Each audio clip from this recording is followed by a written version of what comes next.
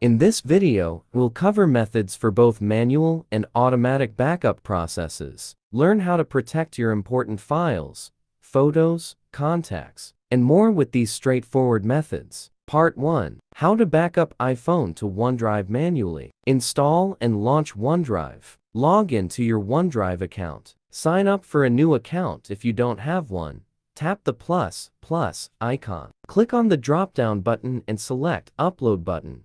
Choose the photos or videos you want to upload. Part 2. How to backup iPhone photos to OneDrive automatically. Download and install OneDrive from the Apple Store. Sign in.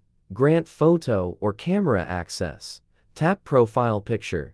Choose Settings.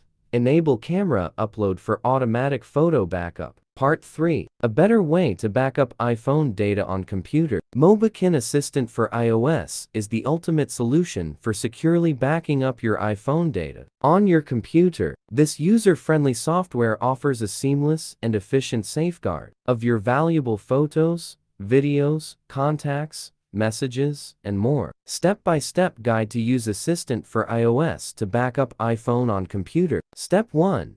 Connect your iPhone to PC. Step 2.